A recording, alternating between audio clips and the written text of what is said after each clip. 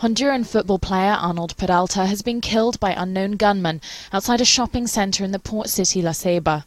Police say the 26-year-old midfield was shot by several men as he got into his car. Police have ruled out robbery as a motive as personal belongings were not taken. Peralta played for Honduras' most popular club, Olimpia, and was on the country's national team. He previously played for the Scottish club Rangers.